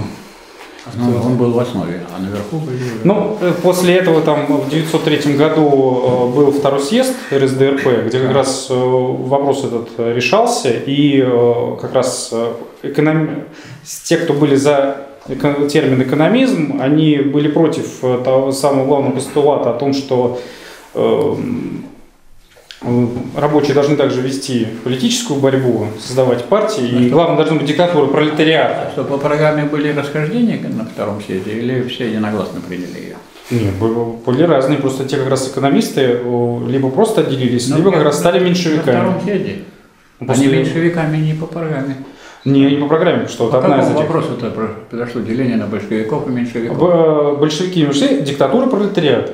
И меньшевики. вопрос. Не было тогда еще меньшевиков и большевиков, когда решался вопрос о диктатуре пролетариата. Когда решался вопрос о программе, не, не было никакого деления на меньшевиков и большевиков. После него не Поэтому было. я вас и спрашиваю, не после него. это вот когда появилось деление, по какому вопросу, тоже обсуждавшемуся на съезде, появилось деление на большевиков и меньшевиков? Ну, что должна быть политическая борьба и основной постулат диктатуры пролетариата. Э, По какому пункту повестки дня? Не скажут. Почему не скажете? Секрет, что ли? То есть вы знаете, но не скажете? Или не скажете, потому что не знаете? Наверное, даже не знаю. Ну, это, Это чистосердечное признание. Это, да, снимает в какой-то степени вину. Смягчает наказание. Смягчает. Смягчает, все равно. Но без наказания тогда не получается. Как это вы не знаете? Готов понести. Вот он экономизм. Человек не Нет. знает различия между меньшевиками и большевиками. Как нам быть? Если мы... Но это уж тонкие вопросы Ничего себе тонкие. для нашего Он курса не различает, не различает, кто меньшевик, кто большевик. Ничего себе. Ну, кто-то нас может выручить, товарищи. Устав партии. Большевик, он в партии, а меньшевики, они с- Вот, это, сади- ну, поддерживают, сочувствуют. В движении. Ну, вы имеете в виду, что большевик, он должен именно политическая борьба, и не просто всех принимать, там, нет, он, нет, имеет, он имеет в виду то, что сказал. расхождение было по пункту устава. Кого считать членом партии? кого считать? А вы кого считаете членом партии? Вот сейчас. Кого считать членом коммунистической партии? Ну, вы раз в движении. А, Нет, тут оно-то. В движении это в движении, а не в Вот, товарищ. От- Отсюда тоже в движении. Идет сюда, тоже в движении. Ну, все, все находится в движении. А в партии кто? Кого считать членом партии? Вот тут и так. То есть вы за, за позицию Мартова или за позицию Ленина? Марков как раз-то был за- Или вы, скажете, или вы скажете, скажите мне, в чем позиция Ленина, в чем позиция партии э, э, Мартовой, я вам скажу, за какую я. Да? А Ленин за какую? А Ленин за такую, какая у Маркса. Ну, что, скажем Кого считать членом партии по уставу? кто, кто должен, как говорится, не только, говорится, теорией, но и практикой э, доказывать свою привязанность. Кто доказывать И- будет свою привязанность? Вот если я доказываю свою привязанность к чему-нибудь, я тогда член партии. Он сказал практикой. Практикой. С участием дела. То есть выхожу и гуляю по Невскому. Почему? Одиночный пикет. Вы можете По- знать, принимать свои знания на деле. Я и применяю. Вот выхожу, и если кто и говорю, я вот могу отвечать на разные вопросы. Хорошо, как гулять по марксизму? Народ сразу все в сторону. Михаил Васильевич, как гулять по марксизму? Я по Невскому буду говорить. Зачем по марксизму? Так мы же говорим о теории, практике. И Ну, вот я на, я на практике теории. пойду на Невский, буду выходить и сказать, у кого есть вопросы по марксизму? Народ будет сразу разбегаться. Образовое движение, согласен. Не как-то это так, ну как-то надо спасти, кто спасет-то, товарищ. Да. Ну, какой-то должен быть один незачет, да? Нет, надо спасти товарища. Как? Вот товарищ, у него перспективы есть. Не хотите спасти? Пойдем вместе на Не хочу, говорит, не хочу спасать. Пусть утонет, а я выплыву. Ну вот, товарищ, он, по-моему, ближе всех подошел. наверное. Так в чем разногласие между мартовской формулировкой и ленинской формулировкой Ну, пункта устава? Ленин считал, что как бы, да, член партии, он должен, как бы, во-первых, состоять в партии и полностью... Что значит состоять в партии? Состоять в партии ни о чем не говорит. Вопрос и, и так и это э, считать членом партии, и это считать членом партии. А вот какое Что условие значит состоять? в партии? Ну, Выполнять э, Какие-то функции работать. Ну, Работу, да, функции. Где партии. работать? Где? Партия-то сама стоит из чего? Ячейки. Ну, с рабочими... Все в партийной организации, работать в партийной организации. Вы тоже вот в партийной организации, в одной из организаций партии. То есть обнаружилось, что у нас большинство товарищей на меньшевистской позиции стоит. А еще большее большинство не знает, на какой это позиции стоит. На большевистской или меньшевистской. А вы говорите легкий вопрос. А? Вопрос-то легкий, Ну, ответ вопрос, тяжелый. конечно, легкий. Это вопрос исторический. Написано, вот любой откройте там учебник, даже плохой. Там написано, что разница, поразделились большевики на больш... два. Сказать, два течения разделились на большевиков, меньшевиков не по программным вопросам. По программе все проголосовали, все как надо. За диктатуру пролетариата и так далее. А потом разошлись коренным образом по вопросу о членстве партии. И специально э, Ленин говорил, что так мы можем каждого тогда профессора считать членом партии, который иногда помогает чем-то партии. Вот мы иногда помогаем чем-то через Красный университет, надо нас считать членами партии. Но мы еще средствами помогаем, участвуем в партийной организации. Но мы, но мы в организации состоим, вот в чем дело. А если бы мы не состояли в организации, а со стороны помогали, это не значит членство партии. Были бы не члены, а Кстати, нам со стороны помогают. Нам со стороны помогают, да. Не состоящие в партии, просто это другое дело, сочувствующие партии и так далее. Так что это вот серьезный недостаток вашего ответа. Предлагаю осудить товарища вывести во двор. Демонстративная порка. и отпустить. Благодаря ему мы выяснили. Ну зачет можно поставить, Конечно. опираясь на позицию либерализма, да? Надо поставить. Но предупредить, что зачет это не отлично. И этот зачет похож на три. Буква З и 3 похоже. Ну да, за три. Так, ну вам есть возможность блеснуть и подвести итоги. У вас никто выступать не будет. Густилев Юрий Александрович. Густерев? Густилев Юрий Александрович. Юрий Александрович. Юрий Александрович. Да, замечательно. Пожалуйста. Да, поскольку зачет уже сдан, разрешите Уже другой, сдан. другой вопрос рассмотреть. 25-й. В чем состоят интересы рабочего класса? Хорошо. С чисто практической точки зрения, потому что недавно был разговор с женщиной, которая является швеей на заводе Toyota. И немножко э, было между ней разговор о том, какие условия труда вообще существуют э, на данном предприятии. Так. Э, Рабочий день 12 часов. Рабочее место заключается в том, что стоит станок, на который нужно давить. А Рабочий день 12 часов каждый день или 12 через, через день? Но там, э, по, по всей видимости, они... Два через два? Ну, достаточно... Ну, тут работают- так непонятно. Рабочая неделя, да, вопрос. Ну, рабочая неделя у них шестидневка. И кто хочет заработать, соответственно, больше, тот э, работает э, на износ. То есть... э, и платят сверхурочные? Э, Платят сверхурочные, да. Оплачивают? Оплачивают. Полтора раза? Ну, ну и вот... За первые два часа. Ну, как-то у них... э, Но вы закон-то знаете, сколько? 12 часов первый день, 8 Нет, по закону сверхурочные. Ну, Как платят? э, сверхурочно свыше 8 часов. Два часа полуторакратно. Да, полуторакратно. Еще два часа. Еще Двукратно. Так вот, двукратно. соблюдается там закон?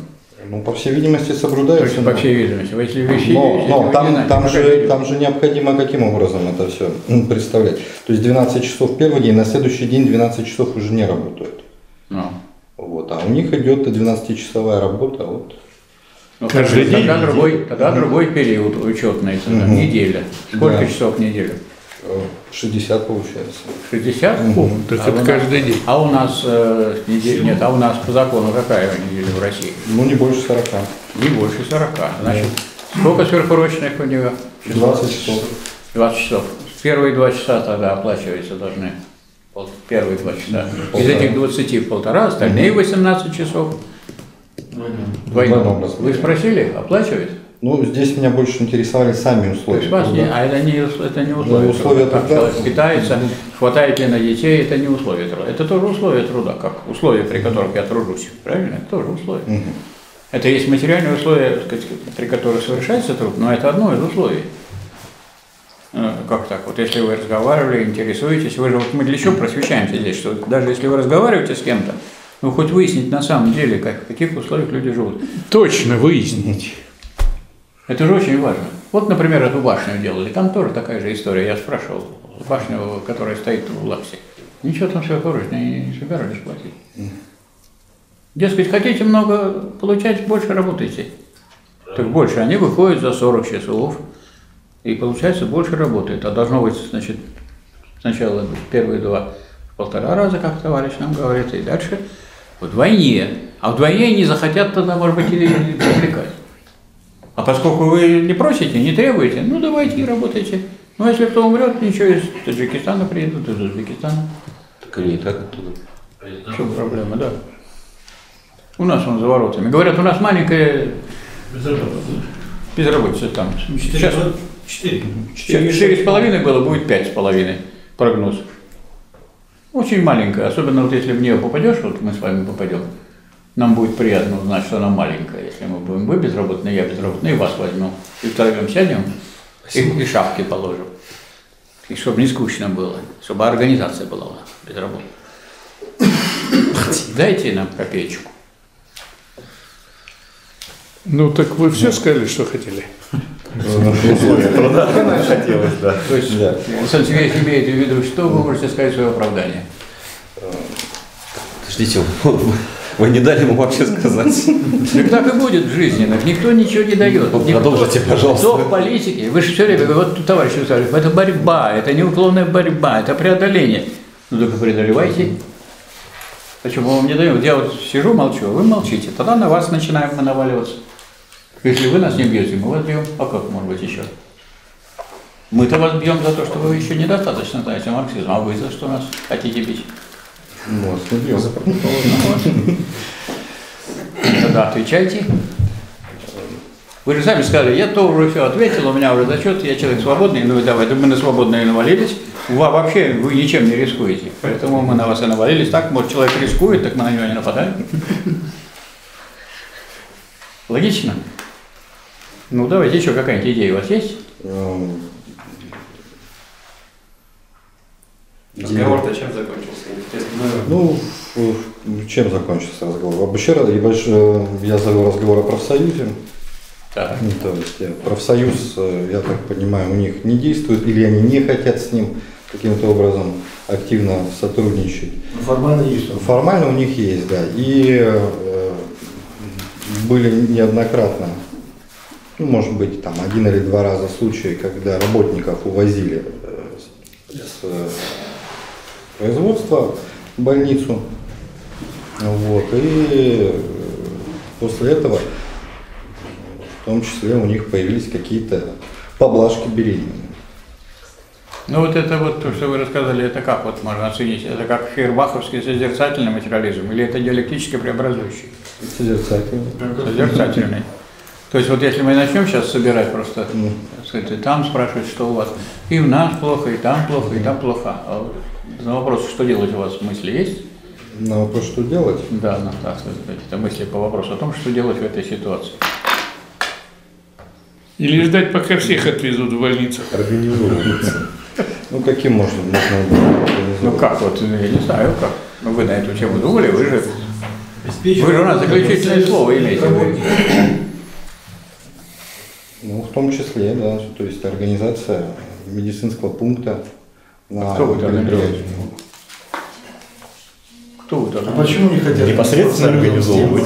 Ну, Может и работодатель, а вот потребовать у него организовать этот пункт должны рабочие. Да, между прочим, это и тот профсоюз мог бы сделать, позаботиться насчет пункта. Медпункт, да зачем организовывать, они шарпады этот бессилие, что в медпункте? Это шатыря Хоть на штыря, да. Но опять же, э, по поводу условий труда, то есть рабочее место швеи заключается в том, что необходимо стоять на одном месте, Стоять? стоять на месте, Стоять, да, Швеи? у швеи и нажимать э, одной ногой на три педали.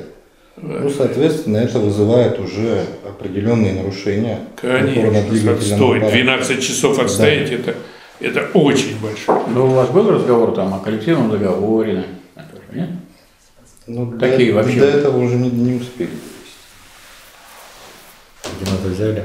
Ну, вообще, вот по идее, вот мы же должны, вот если мы разговариваем там с трудящимися, не просто сказать, а ну это они рассказывают, как плохо, говорят, да, плохо. Вот мы такие просвещенные, кончили Красный университет, и расскажите, как у вас плохо живется. А, и как вам плохо живется. Это потому что я много знаю. Или мы должны что-то людям ну, предлагать, предлагать, как организовать, и сами, сами в это включаться.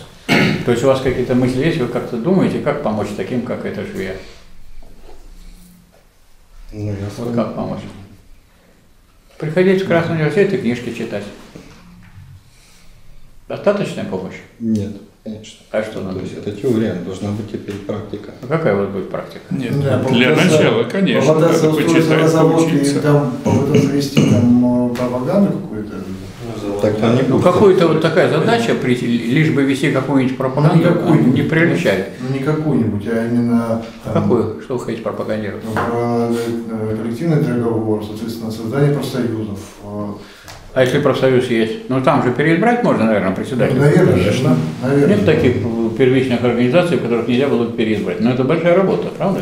Ну, естественно, это должен делать Ну, вот опять это- же коллектив. Ну, то есть, вот скажем, э, если мы с людьми разговариваем на эту тему, чтобы это не был такой разговор, поговорили, по- посочувствовали, да и, и пошли. Так а коллектив-то вообще Ну, просил видимо, участия. подальше я на свой вопрос Ну, я так понимаю, что отвечать.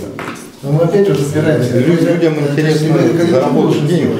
и Не будут работать может как-то- Здесь а они не борются за свои какие-то интересы экономические, Ну, как делать? организационные. Ну, как делать, чтобы они боролись? Вести разумную пропаганду, а именно объяснять, каким образом они могут отстаивать свои интересы, объяснять, что только они сами могут отстаивать Они свои интересы. То есть свои э, мы интересы, не можем как бы, давать им постоянно хлеб, но мы можем научить их выращивать этот хлеб, что называется, ну, политически в данном случае. То есть мы не можем за них бороться, как представители помогать можем Армии, бороться. а помогать и Да. научить бороться можем. И э, агитировать на то, чтобы эту борьбу осуществляли, мы тоже можем. Вот вы не, не смотрели на э, канале Фонда Рабочей Академии, вывешено интервью с президентом Федерального профсоюза диспетчеров Ковалев. Смотрели, да? Ну вот же это вот профсоюз можно посмотреть, как люди борются. На самом деле это такие люди, которые реальные, живые. Ну, методика борьбы известна, а как ее начать, как ее инициировать? Очень просто. Ну, Для начала они должны все в профсоюз вступить. Если у них профсоюз малочисленный, там 5 человек, то на него просто не обращают внимания. Люди не вступают. Для начала, даже если профсоюз малочисленный, можно сделать фабрично-заводской комитет из трех человек. Это в чем проблема? Вот сидят три человека. Все собрались и назвали себя фабрично-заводским комитетом. Мешает это кто-то? прошлом- Запрещает кто-нибудь? Собственно говоря, самый разумный подход, это который на прошлой Вот разъяснялся. вот инициативная группа под названием, и даже в истории это дело было так, что где-то были профсоюзы, а где-то были фабрично-заводские комитеты. А потом эти фабрично-заводские комитеты соединились с профсоюзами, и такая всеобщая стала профсоюзная форма. А во время, после революции, как раз когда нужно было бороться так или сяк, вот, и то, и другое применялось. Ну, не может там у вас большой профсоюз, там не знаешь, когда с чего начать. Ну, три человека, да вы соберитесь, чтобы вы думали, нет, что вот стоит швея, она замученная. Ну, три швеи, если они это обсуждают, это же не просто замученные, это уже сказать, Три люди, которые начинают швеи. думать, правильно? Надо помочь осознать людям, что сегодня вот двоих увезли, завтра троих увезут, увезут послезавтра пятерых. Ну и как Так если они все это И осознают, если то не будем, если будем так по 12 часов работать, так и со всеми так будет. Да. На одной ноге как цапля. К 40 годам мы Это помрем. такая форма забастовки. Работать, пока не упадешь. Да, да. Так, спасибо. Александр Сергеевич, вам слово для того, чтобы сделать заключение. Ну что, дорогие товарищи, я думаю, что зачет прошел на высоком идейном эволюционном уровне. Вот, он показывает, что значит, народ в России В России, в Австралии и в Аргентине. Да, в России все более заинтересовывается этими проблемами, и фактически мы э, обучаем людей от Владивостока и Приморья до вон, Литвы и Беларуси. Плюс, значит, вышли на международный уровень, в Америку, значит, в Австралию, в Австралии даже Это вот не вмешательство во внутренние уже два, нет, мы не вмешиваемся, это мы с конкретными людьми там раз- разговариваем, то, что им интересно, то, что они отвлек- откликаются. Вот, теперь э, содержание, э, мне кажется, растет, конкретизируется. И это выражается в том числе и значит, в таких кратких и лаконичных ответах, хотя некоторые излишне лаконичны. И во-вторых, значит, вот э, в попытках значит, сопротивляться тому накату, который осуществляет профессор Попов. Несмотря на то, что он так это порисует. Методических целей. Да, порисует отвечающих. Отвечающие все-таки спорят, сопротивляются. И некоторые даже ну, и успешно. А теперь хорошо, что все вопросы почти, э, которые были в вопроснике, задействованы, то есть используются. И э, товарищи отвечают не только на такие простые вопросы, я все-таки считаю экономист, но и интерес к проблемным вопросам, где ставятся какие-то проблемы для обсуждения. И так это довольно смело берутся за эти сложные проблемы и отвечают.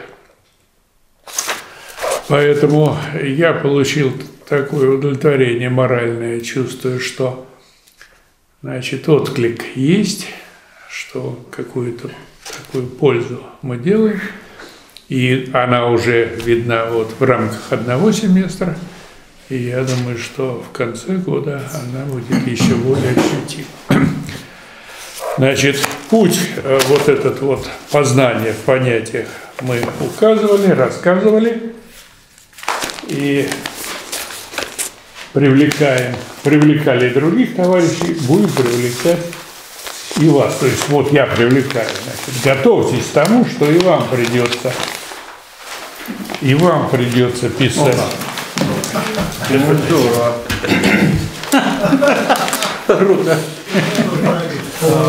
И вам придется писать, тем, кто хочет, конечно, да? И это тоже форма обучения писать, поэтому готовьтесь, развивайтесь, А, по крайней мере, значит, некоторые важнейшие условия для такого развития у нас здесь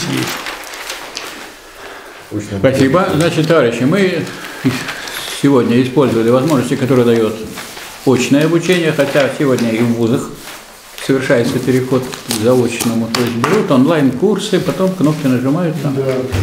Или Вера, или Надя, или Люба. Вероятность правильного ответа 33,3 в периоде процентов. Поэтому это очень важно. Очень важно, чтобы люди чувствовали, что это вот вопросы, за которые надо побороться, которые надо отстоять, или что-то еще глубже поспрашивать и глубже разбираться и так далее. То есть не останавливаться на том, что мы уже получили, что мы уже завоевали. Понятно, что этот процесс продолжается. Тем более у нас еще целый семестр, правильно? То есть вот наш зачет имеет своей целью, ну, немножко направить на то, что, так сказать, более въедливо, более, так сказать, глубоко люди входили в содержание и э, понимали его значение и для, и для споров, и для пропаганды, и для агитации. Потому что, ну, как вот, ну, вот скажите, пожалуйста, марксизм что-то господствующая, что ли, идеология в обществе? Нет. Значит, спорить будут не только на семинаре вам будут возражать, да все будут возражать. Но как вы должны на эти возражения находить ответы, и вы собираетесь выигрывать в этих спорах или проигрывать? Какие у вас настроения? Ну, зачем-то спорить? Ну, если- а зачем? Ну, надо, так что это совершенно понятно. Поэтому мы, и когда думаем о том, как организовать зачет, и зачет с учетом этого организовываем, что люди, которые здесь выступают, во-первых, они не в такой закрытой аудитории, а в открытой, пожалуйста, все это записывается. Пожалуйста, вы доказываете, вы доказываете перед всем миром.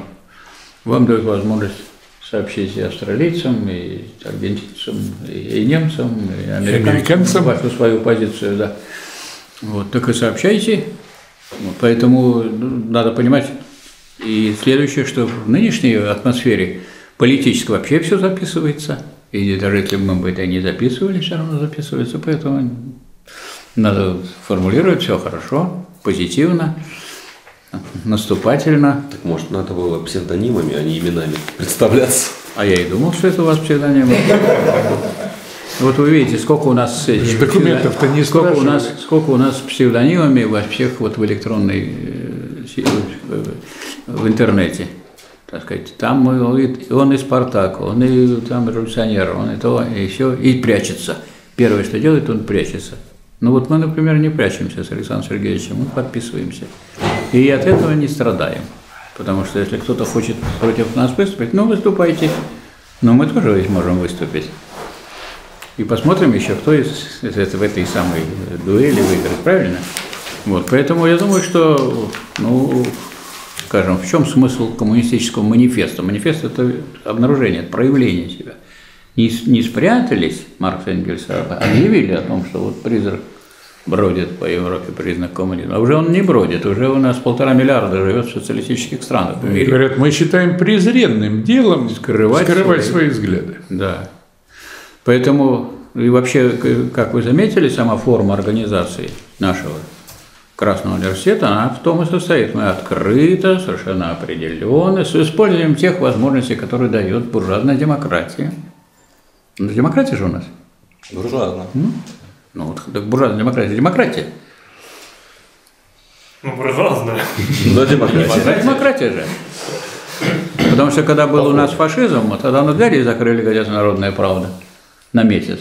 В связи с чрезвычайным положением в городе Москва. Заодно у нас вагон бумаги забрали. И разрушили систему распространения. А потом опять открыли, и опять, пожалуйста, высказывайся. Так что надо ценить демократию, буржуазную. Хоть и буржуазная, она же демократия. Вот, поэтому надо и учиться ее использовать широко, а мы широко ее используем. У нас фонд рабочей академии зарегистрированное общественное объединение. Кто ее регистрировал? Буржуазное государство. Вам не нравится буржуазное государство? Оно зарегистрировало фонд рабочей академии. А потом, значит, э, тут собралась э, налоговая нас закрыть, а мы выиграли и в районном суде, и в, городском. Теперь у нас её вообще не трожь. А вот суд присаживал Министерство юстиции против Фонда рабочей академии. И Фонд рабочей академии Да, и это тоже завоевано, в том числе и Ленинской партии еще до 17 года борьба-то велась, и завоевали эти права. Так что Так что у пользуемся. нас, более того, если вы можете сравнить, например, ситуацию в Литве, допустим, в Латвии и в России, видите разницу, нет? Видим, Здесь мы да. открыто пропагандируем вот, сказать, марксизм ленинизм. А, та- а почему? А потому что мы все время пропагандировали. Потому что еще И в 93-м году, и в 91-м, и в 89-м. Крепко стояли. И никогда этот, никогда не останавливался этот процесс. Ну, скажем, одни товарищи залегли на дно, которые теперь собрались в КПРФ, до разрешения, когда ждали, когда им Конституционный суд. А другие товарищи, вот мы вместе с Александром Сергеевичем и другие, мы в это время проводили в Свердловске в 91 году, в 91 году учредительный съезд Российской коммунистической рабочей партии, в 92 году программу мы приняли уже в Челябинске. И подали, и нам в это время говорили, как же, как же, там уже указ президента у Ельцина стоит уже сказать, проект прямо на столе. Я говорю, ну так он у вас только лежит пустой, не подписанный, а вы положите туда проект о разрешении коммунистической деятельности. В общем, мы подали и зарегистрировали Российскую коммунистическую рабочую партию. А потом мы вот вышли из э, рабочей партии, потому что там недооценивалась из, коммунисти- из РКРП роль рабочих. И они тонули в том голосовании, которое было. И совершенно свободно так сказать, отстаиваем свои позиции, организовываем. И никто нам в этом смысле, ну, не то что сказать, чтобы нам мешают, не помогают. Но помогать, в смысле, в смысле люди нам помогают. Я докладываю, что фонд рабочей академии постоянно присылают деньги люди. Вот посмотрите на сайте московского отделения фонда рабочей академии, там написано, кто, что и сколько прислал. Постоянно присылают. Почему? А вы думаете, сейчас вот, чтобы прислать деньги, сейчас же у трудящихся денег нет? И просто так, на что угодно, на какую-нибудь ерунду не пошлют. Вот на московский рабочий. Ну, вот московская Пришли. рабочая, все понимаете. Понимаете, что для того, чтобы издать, нужно средства. Откуда средства? Трудящиеся средства дают. Ну, Тогда надо уважать это дело, и люди распространяют, люди пишут дальше, работают и так далее. Так что вот так. Поэтому позвольте вас от имени и Фонда рабочей академии поздравить, от имени, я думаю, что вот товарищ ректор, наверное, поздравляет вас. Я правильно понимаю? Да, Товарищ Вашими ректор. устами. Да, Товарищ ректор поздравляет и проректор по учебной работе, все поздравляют вас с успешной сдачей зачета, поскольку это важный рубеж в изучении марксизма-ленинизма. И пожелать вам успехов в дальнейшем обучении, которое, я думаю, будет сопровождать всю вашу жизнь, как бывает у настоящих марксистов. Правда?